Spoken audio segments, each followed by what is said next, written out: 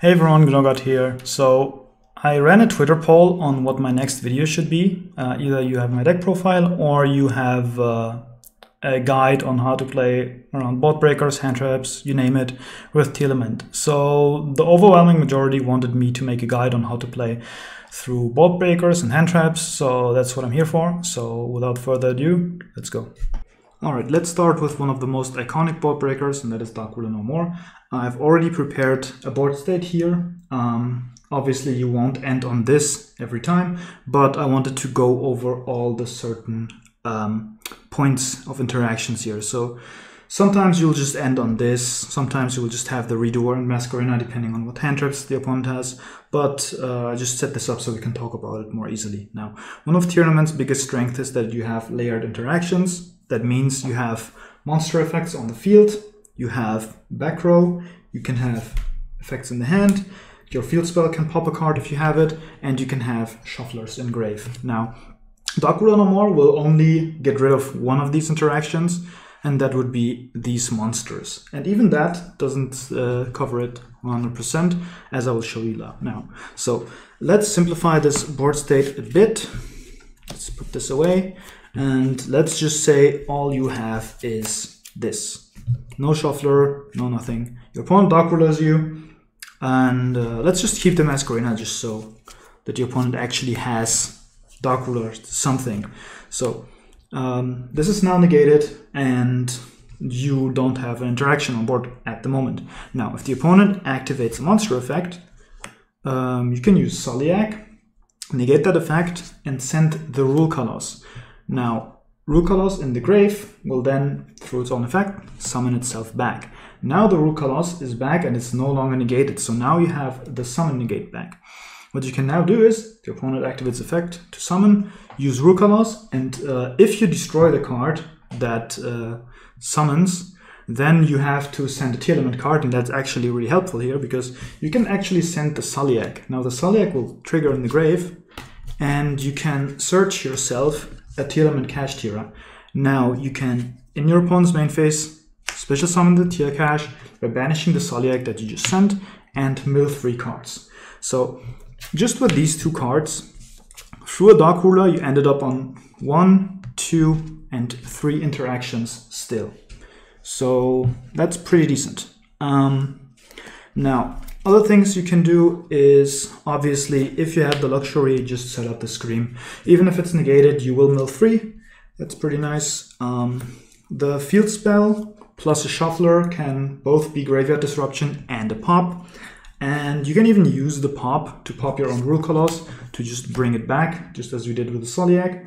Or even better, if you have a Kaleido Heart, you use the field spell, pop the Kaleido Heart, um, then activate the effect, now you might think, why would I pop Kaleido Heart when I can pop an opponent's card?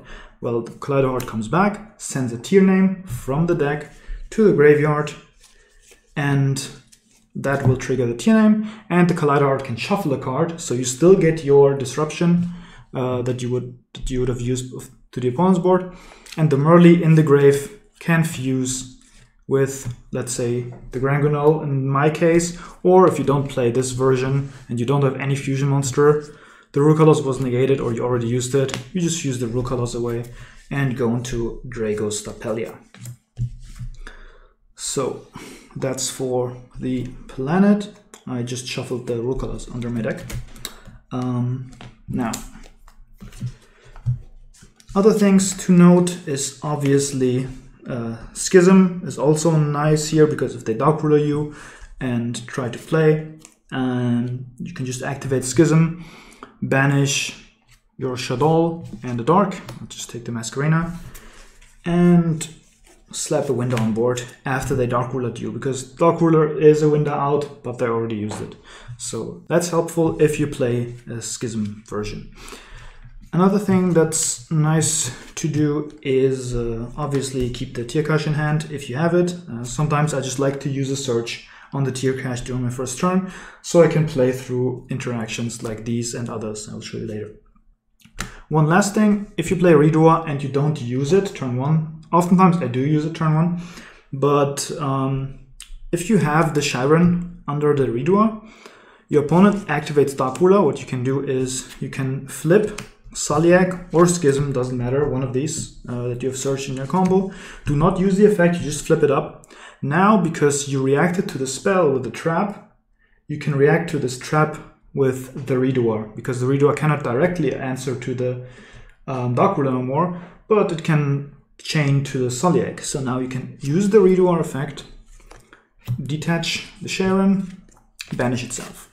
Now the Dark Ruler resolves, the board is negated, and now the Scheiren Engrave triggers to fuse with whatever you have with a fusion monster into a Dragostapelia, or you have the Scheiren plus the Reinoheart that was also under the Redoer plus the negated Rulkallos into a Kaleido Heart if you haven't already uh, made it in your turn one. So that's it for Dark Ruler no more. Okay, now for Lava Golem and Sphere mode, um, generally not that great against Tearlament, but still worth talking about. So the, the opponent will have the priority in main phase to summon Lava Golem uh, or Sphere mode, and um, you obviously cannot react to them, that's why they're good. So depending on what board you set up, if you have like a full board like this, they take out two interactions, you're still fine, you still have things that you can do with what's on the field, with your back row, whatever. If you have a smaller board because like they hand trapped you or something, uh, let's just go for the example from before. If they lava golem you here, um, that's pretty sad. Um, that's why it's still important to have your layered interactions, as I like to call them. So again, searching the tier cache during a turn one combo can be helpful, especially since summoning the tier cache, you mill three. Even if you miss, you turn on the Sulliek to negate a card of your opponent. Another thing that is nice to know is after they used Lava Golem, and you, if you play the Schism version, you can make, uh, you can still make the window from here. Um, and they already used one of their outs to window in Lava Golem, so they need to have a second one. Now, if they Lava Golem you again here, what can you do? That's just how it is. But just worth noting is that uh, after the Lava Golem, new windows pretty nice. Just so your interactions come in waves and you don't just like put all eggs in one basket. Now, evenly matched is one of the tougher cards to answer because you don't, you have to actually plan for it. Um, what does that mean is the way you get around evenly is to, the easy way is to put up an Omni Negate, which would be Baronne, Toad, or Grapha. Now, not every version runs these, so sometimes you are left on just the Grapha. So what you can do is you just, in, in your st standard combo, if you suspect they play evenly or you know they play evenly, instead of Rulkallos, you can make the Grapha. Or what's also very nice to do is if you run Masquerena, and you can set up a King of the Swamp in the grave, just keep it here. If they announce that they're ending the main phase, you can use the Masquerena to go into sprint, which will then send the Merrli, and the Merrli plus the King of the Swamp can then go into Grapha. Why do it this way? Because you're more flexible with your interaction uh, being IP Masquerena here.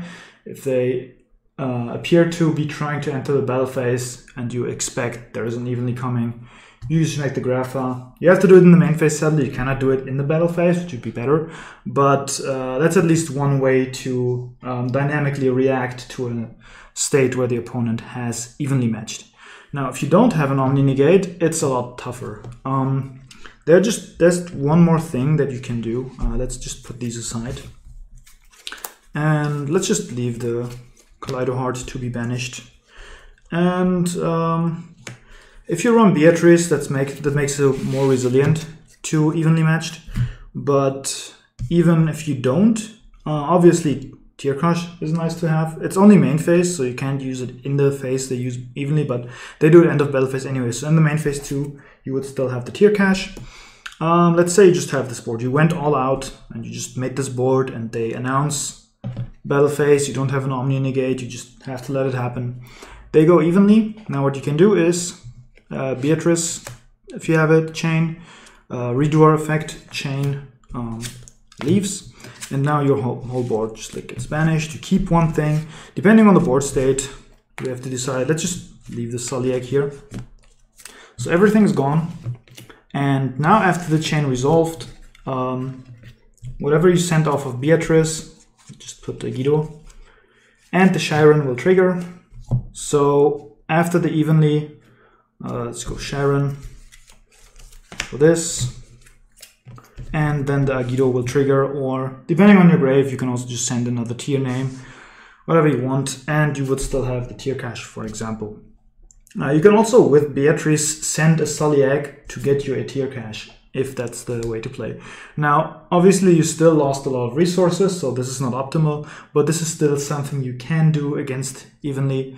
But uh, the most uh, effective way to combat this card is to make an Omni Negate. So let's move on to books, uh, Book of Eclipse and Book of Moon, which have been very popular in this current meta because they're good against the top two decks, being Kashtira and Purrely. And these cards, um, Book of Moon usually is just a one for one, um, sometimes not even that. But I just wanted to mention it here. Most of the things that work for Book of Eclipse also work for Book of Moon. So I want to talk about Book of Eclipse for the most part. So for the first time I got Book of Eclipse, I thought like, wait, this turns off my whole board. So if you look at this board state, Sulliek needs a face up. Let's just say this redraw doesn't have material, otherwise that doesn't work. Um, so if they Book of Eclipse here, uh, your tier names are flipped face down, which disables both Scream and Sulliek. Let's just ignore the Schism for now. And the Masquerena wouldn't be able to um, uh, link with one of these because these are face down. So you would have to chain the Masquerena to the Book of Eclipse, which sometimes you might not want. Um, so what to do here? First of all, um, let's just talk about the ruling real quick, and that is Redoer if it has material.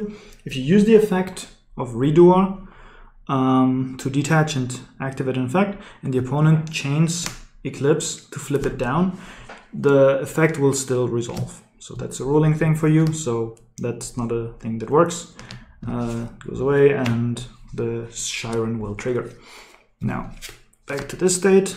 Um, if they eclipse you here and you don't use the Masquerena or you play cross sheep, for example, then everything is face down and your board kind of does nothing. So what can you do here?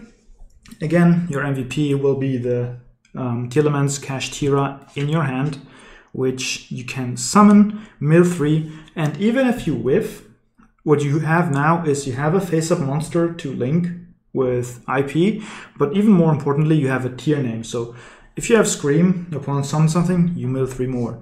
Also, even more important, your Sulliek is active now. So what does that mean? Upon activates an effect on the field, you go Sulliek because you have a tier name on board, and you now negate that effect and you send a monster. Now, um, Sulliek does not say that you have to send a Tearlament monster, so these face down monsters are also usable. So something you can do now is you negate a monster, you send the Kaleido Heart, Kaleido Heart effect, comes back, you send a monster, let's not take Murdy because we still have the IP, uh, let's take Havnis, now, Havnis triggers, and even if your grave is not loaded, you will Havnis effect, confuse with the face down Rulkallos, and make a Dragostapelia. And lastly, you can still use the IP Masquerena to exist into sprint and send them early and fuse away. So Book of Eclipse here, um, we still ended up on one, two, three, four, five, six, in this case, interactions. Obviously, you don't open with all of this. But just so you see like what just one tier cache in hand can re-enable on your board after you got eclipsed. Another meta staple right now is Triple Tactical Talents, a card you have to respect um, in deck building or the way you play. Now, for Tearlament, the fact is that you do a lot of things in your main phase. So sometimes you cannot play around it. For example, upon summon something, you Sulliek, you send Kaleido Heart, Kaleido Artifact triggers, now the talent is active. Um, if you don't have an Omni Negate, um, which sometimes you just don't do, or the talent takes you by surprise. Um, there are some things you can do. And let's just talk about the implication of talents. Let's just put away the Kaleido Heart. Let's just have a more simplified board. This goes away. Uh, let's put away the field spell. Um, more simple board, uh, easier to understand. Um, you don't have a tear crush in hand. The, you activated an effect, I don't know which one, and uh, the opponent talents you. Now, um, talents to take can be really, really strong because if you don't have, you haven't used Colossus, they can take it. And now not only they have they um, taken one of your interactions, they also have a negate for another interaction that you might do. And that could be your Masquerena, that could be your Scheiren effect from that tagging out Redoer. Um, can be any tier name in the grave. So that obviously is a very, very good trait for your opponent. Now, what you can do in this situation, um, Opponent says talents, announces to take. You chain redoer. Uh, tag out Scheiren, first of all, uh, as part of the effect. Uh, let's say chaining 2 is redoer, and then chaining 3 is Masquerena. So you resolve Masquerena, go into sprint, then the redoer resolves, banishes, and now the only monster you have left is the sprint, which will go into your opponent's possession.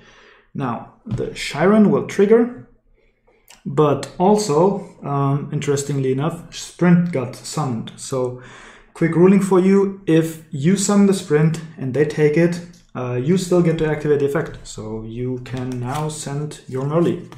And now what that does, your opponent gets a useless Sprint and you still get to trigger two of your Tearlament effects and uh, best case, you enable your Sulliek this way. Okay, let's talk Super Poly. So Super Poly has popped up more and more because of Mannadium. So the Draco Equist Super Poly combo can break the um, Calamity lock before it happens. So let's talk about Super Poly in the context of Tearlament. Now, in the previous boards, I have had IP on the field. Currently, I run IP. I'm a big fan of that card because of how dynamic it is. But another link too that you can run um, is Cross Sheep, really, really strong card as well. And in this scenario, it is even better because let's look at the super poly targets. Now, Draco Equist um, does nothing into this board because it needs a Synchro Dragon monster. It might come up if you run a Rev Synchron build um, and you end on Baronne plus uh, Crystal Wing somehow. Then they can super poly it. Um, but in this case, let's just not talk about it any further because at the moment we don't run any synchro variant. Now, Garura does not have any applications in your standard board because um, this is an Aqua, this is a Cyberse, this is a Psy, and Cross Sheep is a Beast, for example.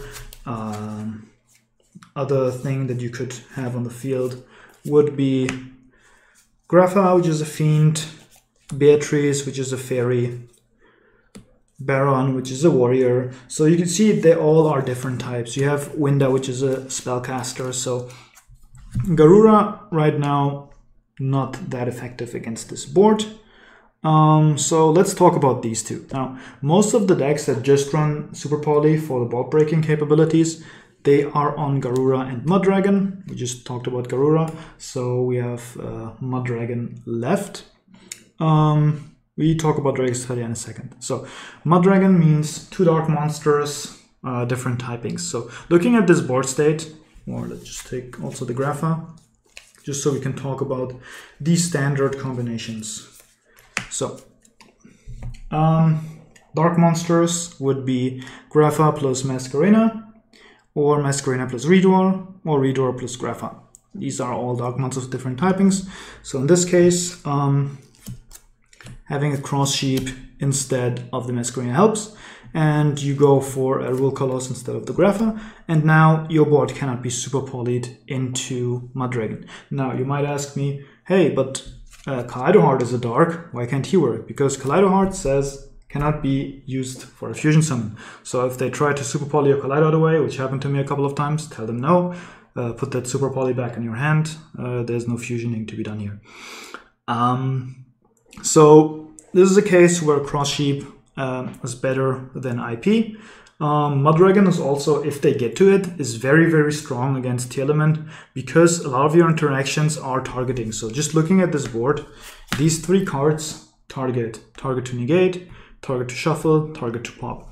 So having a super poly here, taking away, uh, let's say, a Masquerena and the redraw into a Mudragon um, would leave you with only the Rulkallos as your interaction um, and the Tearlament Scream to mill 3, which um, won't trigger anything that's targeting. So keep that in mind if you are thinking about getting super polyed. Now, um, as for Dragostapelia, Dragostapelia is not usually run in uh, super poly lists unless the deck in question has a lot of extra deck space. For example, Rescue Ace could technically run super poly plus Garura, Mudragon, and some other luxury targets like Dragostapelia. The decks where it is relevant is other fusion decks, so that includes Chimera, that includes Branded, and that includes the Tearlament Mirror. So if you know you're in that matchup, um, that means that Dragostapelia can fuse away your Colossus plus one of your Darks. Now, in case of Colossus, that's not that relevant because Colossus comes back as to her own effect. So the Super Poly will take away one of your interactions and put up one negate, which is still pretty strong. So try to think about that if you're playing against Branded or Chimera to um, think about what darks you put on the board next to your Rulkallos. And if your locals, for example, is full of uh, these decks, then maybe run a cross sheep over an IP Masquerena. Okay, we're done with the board breakers, so we move on to hand traps, and most of the time hand traps are like one for one trades. Um, they Ashes Surge or they Veiler Summon. So you just have to use your general game knowledge to play around those. But there are some hand traps that I want to talk about, how to play around them in general. And one of these includes Droll Lockbird, which, because of some combo decks popping up, has been getting more popular in this format. So um, against Tearlament, depending on the build, it can either hurt or do nothing or relatively little. So I just want to say um, how to minimize the damage that this card can do. For that, I have uh, put out an example hand and just to show you how to maneuver through a potential draw without losing too much. So first of all, um, as I already said in my Tearlament guide, uh, if you haven't watched it, check it out. I got a lot of positive feedback on it. If you like Tear, and if you watch this video, you probably do, definitely check it out. So, Burial Goods can send a spell or trap and you send the Trivikarma. Now, you can park the Trivikarma in your graveyard and you make more plays if you have them. And um, once they draw you, you can chain Trivikarma to the draw to slip a search under it basically. So you still in chaining 2 get your search and then draw is active. Um, depending on what you need, you can either just get the trap if your hand is decent, you can play the grief as an extender if you play that, um, or you just get Scream if you already have Trap Access, for example. Um, getting Perlereino in this uh, instance would not be very useful. First of all, we already have it, but even if we didn't, if they draw you and you search Perlereino, now you have a field spell that doesn't search and only gets the pop effect and the attack boost, so the other alternatives are just better. But in this case, let's just park it here, and the opponent still has the draw in hand. So Looking at this hand, you just want to sequence your stuff right. And in this case, um, using the King of the Swamp for a poly is very sad because now you wasted your one search on a poly and your hand kind of does nothing. So uh, you don't do that. Uh, what you can do is you can look at what search is the most valuable to you. In this case, it would be these two. And in this particular hand, it is the Perlereino search. So I'm using Perlereino here. And in this hand, let's just search a Scheiren. So we get the Scheiren, and now your opponent draws you, and you chain the Trivikarma to get a search. Now, I already told you, you can use one of these. Um, let's just for the example of this hand get the grief because it's cool.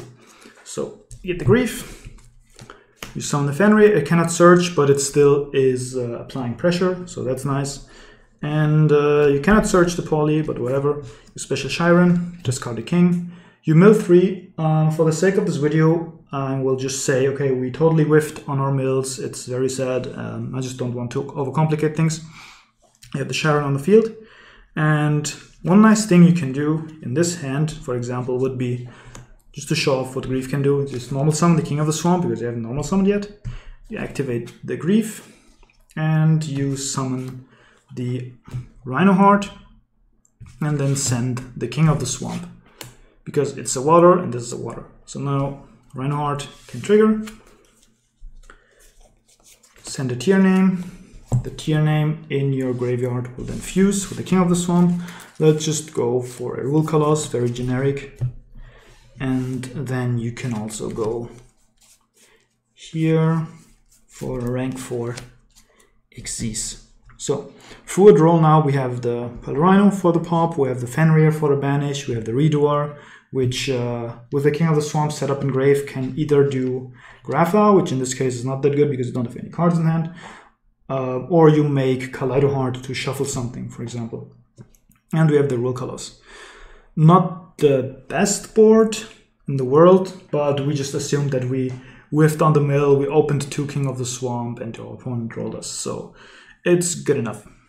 Um, something else that I wanted to note is uh, if you play the Shaddoll Granguignol package, um, just a quick reminder, that is King of the Swamp plus a tier name, makes Granguignol, Granguignol sends Apkallone, and Apkallone adds you, where is it? Schism. And then you discard a card. Um, if they roll you, you cannot add the Schism from your deck, but if you have milled it uh, over the course of your combo, um, Apkallone can also add from Grave. So you use Apkallone effect, add the Schism from the Grave, and then discard, and now you still have the Schism. So sometimes, sometimes the draw doesn't do anything against Apkallone, sometimes it does. Just something to be wary about. Um, another thing that can help against roll is if you open Foolish Burial, you can start off with Foolish Burial. Obviously, if you have Fenrir, uh, special the Fenrir first, because Foolish Burial might trigger Fusion or a Reinoheart, and then you can summon it. But uh, let's say we have summoned it, and we didn't use the effect yet. We go Burial, and we send the Miller. Now the Miller activates, and the reason you do this is because what the Miller can do is it can send two of the searches. So now you will resolve both of the searches in the same chain. You get two searches and then they roll you. So this way um, you have uh, sequenced it so that you can get two searches instead of, let's say you had a Perlereino with it and then you go Perlereino first. Now the Miller does a lot less. Speaking of Perlereino, um, another thing that you should keep in mind on sequencing is if you have terraforming, you activate terraforming, they can draw you and now the Rhino is useless. So try to look for other searches before activating um, the terraforming or you could also opt to cut it, but I think cutting terraforming is a bit too much commitment into draw uh, into playing around Droll because the card is still like Perlereino is still one of the strongest cards in the game, and just cutting one copy because of uh, Droll, I don't think is worth it. Um, another field spell that a lot of people run is Wraitsoth. Now this is definitely cuttable in a draw format because it's a luxury to say, okay, I have my terraforming and it can search me two things because uh, yeah, the Wraitsoth um, searching the Wraitsoth, it doesn't even give you a disruption that Rhino would give you, right? You just have the field spell for the attack boost in that case. And just even hard opening Wraitsoth, you get a Fenrir, you get rolled, and then the Fenrir can't search. And uh, your other searches are turned off. So for the Fenrir pressure, that's not really worth it. So uh, just some things to keep in mind in deck building and playing when considering draw. Okay, let's talk about Nibiru because Nibiru has a good, like, strong impact on the board in general. Um, luckily for us, it's not very good against our deck. You just uh, have to have your the correct play patterns, but the thing is, you don't have to invest to do these play patterns because you want to play like this anyway. Uh, what am I talking about? Um, so the way I like to play it is I like to start off with Scheiren, mill some cards, maybe get a Reinoheart normal summoned or milled through the Scheiren on the field, mill something, um, follow it up with a Tearlament Kashtira, mill some more. So you do a lot more milling than you actually summon. If you see, this is only three summons. Um, if you somehow get two more summons, I don't know how, and they nib you here, and you milled a lot, um, this triggers the Scheiren effect. So you just leave the Scheiren on the field, or if you get a level 4 with it. Um, if the Rhino came from your hand, you can leave this, because if they nib, then you trigger both Rhino and Scheiren. If it came from the grave and it would get banished, uh, on leaving the field, you can just go into Redoer because if they nib you here, you just tag out with the Redoer. Now the Rhino goes to grave and the Scheiren still triggers to fuse. And you just threaten these interactions until you go for either a Rulkallos or a, where is it? Grapha. Now, these require King of the Swamp access, which you sometimes don't have. So in some instances, you just have like field spell and you don't have King of the Swamp access. So you want to go for a minimal board. Um, let's say like you didn't mill King of the Swamp, you would go for Reinoheart, St. Havnis, don't use the effect. And uh, you overlay for Redoer and uh, banish and then you fuse into the Kaleido Heart. Now, if you go Perlereino, um, pop the Kaleido Heart, and it comes back to search you a trap, something I like to do. Then if they nib you, the Kaleido Heart won't come back because you already used the effect of it coming back. So if you cannot set up a negate, um, just think about keeping uh, the Kaleido Heart on board for the nib. Now, if you don't have any other interaction, in this case, you just go for it and say they don't have the nib. Um, most of the time, people shouldn't like side nib against this, and you just send this for the interaction. But uh, generally, the Perlereino pop Kaleido Heart trick I like to do when I am uh, backed up by a nib negate but don't read too much into it. Again, like Nib is not that popular right now, but if it pops up again and like main decks, then just consider these play patterns. Okay, so Bystials are very tough for this deck to deal with. Um, that's why Dragon is such a bad matchup. But let's just talk about what you can do um, to play around or play against Bystials. Now, the good news is, like a normal a normal Bystial in your like against your turn one combo, you can usually play around. It's just like a random hand trap. Um, the issue is Magnamhut because Magnamhut first disrupts you and then also gets follow up to disrupt you even further in your next turn. Uh, just take, takes out two Tear names on its own, which is backbreaking for your uh, resource gain. Um, some things you can do, let's just talk about the Druiswurm. Uh, if you don't want them to get the body, is you can chain a shuffler, shuffle back the body uh, to keep the name because you only have one of each. The issue here is the Worm stays in their hand for their next turn, so um, make sure that you can set up something that uh, it doesn't matter. For example, they do this, they have one Bystial, they use it on the Scheiren, you shuffle it back, and then you resolve another T name to make a Rulkallos or a Grapha, which can both negate a Bystial. Uh, Rulkallos in this instance is way better because Rulkallos destroys the Bystial, so it doesn't come back, whereas Grapha just changes the effect to uh, discard a card, which means, again, they keep the Bystial in hand. Now, speaking of Rulkallos, sometimes you can hard make her. For example, I just take, took this hand. You have a King of the Swamp, uh, two King of the Swamps plus any Tear that includes Tearlament Kashtira. You discard the King of the Swamp, to get a poly,